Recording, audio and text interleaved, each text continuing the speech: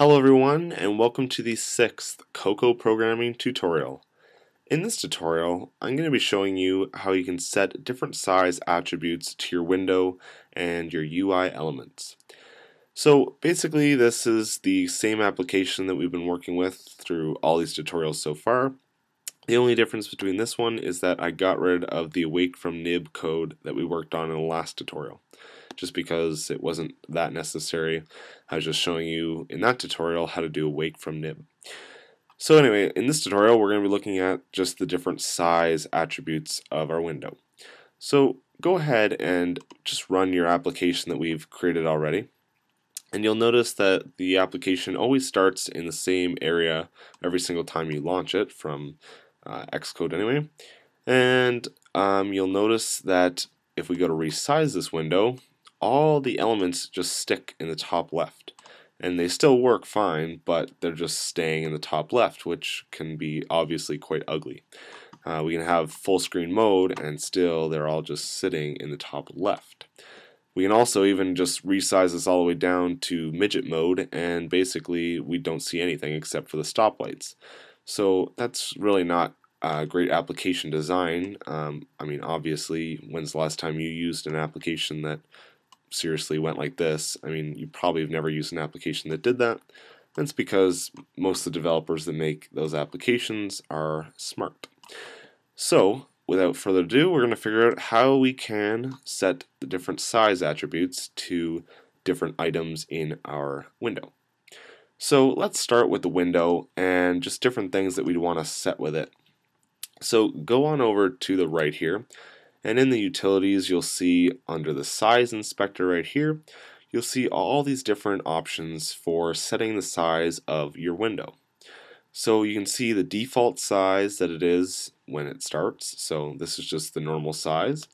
Then you can also see constraints, which are basically settings for minimum size of the window and maximum size for the window. So let's say we don't want our window to be any smaller than it starts. We could hit just minimum size like that, and now our window will not uh, shrink any more than it starts, which is probably what we want because we don't want any of those elements to be any smaller than they start. So if you go ahead and build and run this, you'll see that when this finally builds, you'll see that we can still resize it out, but it doesn't go any more than what it starts. It just stops right there. So that's what we want. We don't want the window to go any smaller, so of course we like this minimum size checked on. We could also set a maximum size, but we'll just leave it for now since um, we don't exactly need it. You can also see that there's an option for initial position. And this is kind of nice. Uh, you can just rearrange this window by grabbing it in kind of this display mode. And you can change on where the window starts out. So if you wanted the window to start out at the top left, you could just set it like that. And now when our window or when our application starts, it'll start in the top left, which is right over here. So you can see that you can also edit the location of where the application begins. So we're just going to change that back to somewhere around the middle. And that's good. So we'll just leave that. And now we want to analyze uh, some of the different elements that we have in our window. So we're done with the actual window itself, but now let's look at the label and the button. So what do we want the label and the button to do? And we'll just start with the button uh, for the sake of this. And the button, what we want it to do is expand as we expand outwards with our window. And we also want the button to stay along the bottom, just for this tutorial anyway. So we want it to stay um, the same distance from the left side, we want it to stay the same distance from the bottom, also the same distance from the side, but we want it to expand the whole width. So how can we do that? Well, all we have to do is select the button, and like I said before, there's no code involved in this, which is really nice. So again, we go to the size inspector, and you'll see under the view settings, you'll see this auto resizing box, and along with this example of what will happen when we go to run this application. So you can see right now that our auto resizing box has these struts along the outside and springs along the or in the center. And that's just what they're called. They're just considered struts and springs. So you can call them whatever you want doesn't really matter. But all you have to know is that the outside ones are for basically where the the um, frame of the button or whatever you have selected will stay. So in this case, it's set to be the same distance from the left side and the same distance from the top.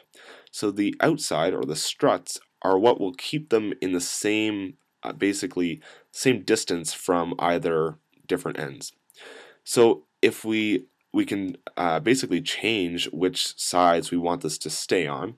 So again, like we said before, we want the button to stay um, the same distance from the left, same distance from the bottom, and the same distance from the right. So in order to do that, we obviously don't want to stay the same distance from the top as we make this window larger. So we can just de deselect um, our strut right there, and we can select the different ones that we want. So as you can see, we've selected different struts, and this means it'll be the same distance from the left, same distance from the bottom, and the same distance from the right. And you can see in our example here, now uh, the little red thing basically represents your button, and as you can see, it's staying along the bottom as the window resizes. But you can see that the button doesn't stretch the full distance of the window as it stretches out. So how can we get it so that the button will expand as this window increases? And that's where the springs come in.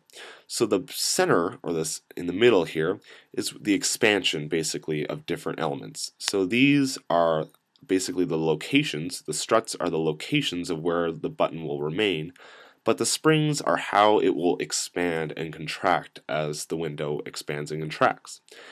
So here, if we select this spring right here, this is the spring that represents expansion in the x direction. So as you can see in our example, if our window is expanding now, our button should expand with the window because our spring expands left and right, which as the button will expand, it will go left and right.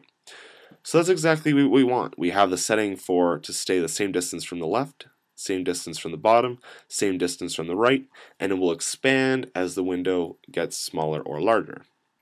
So now let's go ahead and build and run this and once the window completes as you can see here let's just zoom in you can see that when we expand this window our button now stays the same distance from the left same distance from the bottom and the same distance from the right.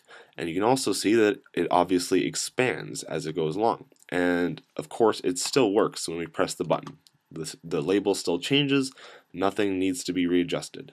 But as you can see the button readjusts to its appropriate size that we want it to be adjusted to, which is great. So uh, now that we've gotten that, of course, now we need to adjust what the label does. So the label is going to work similarly. It's essentially what we want it to do is stay the same distance from the top and same distance from the left and right, and of course it will expand as well because we don't want it to stay in that top left uh, position.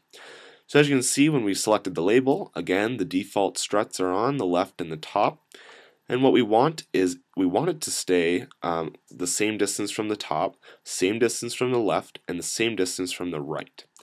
So that will uh, that's all the struts that we want enabled, and of course we want it to expand in the x direction as um, the box increases.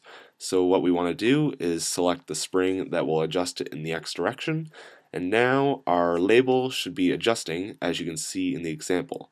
So when our window gets larger, the, uh, the basically the frame of the window will stay in the same position or the same distance from the left, top, and right, but it will expand as the window gets larger and contracts. So let's go ahead and we're actually going to enable something else just to verify how this works. So if you go into your attributes inspector and in the label you'll see a few different options which uh, kind of are similar to what we did in the awake from nib but you can select draws background and we're going to change the background color just to something else so we can see the background. And this will just help us to see how the label is getting larger and um, you know smaller. So let's go ahead build and run this now. And when we run we'll see that we now start with this box.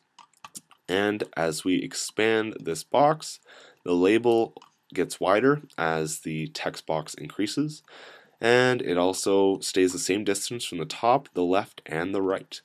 So all the settings that we applied to the label and the button stay the same and they still work code-wise. So that's perfect. Um, we we just got what we wanted to work with our um, label and our button. And I'll just show you a few other things. Let's say we wanted um, the label to kind of go down as the window gets larger in the Y direction. So as our window kind of goes down like this, we want our label kind of to follow, not to stay at the top. And we can change this by simply not enabling the strut to stay along the top.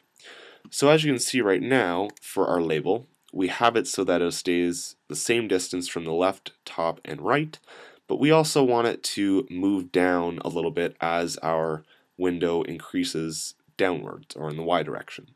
So we can disable the top strut and this will allow the label to basically flexibly move up and down as the box increases in the y direction.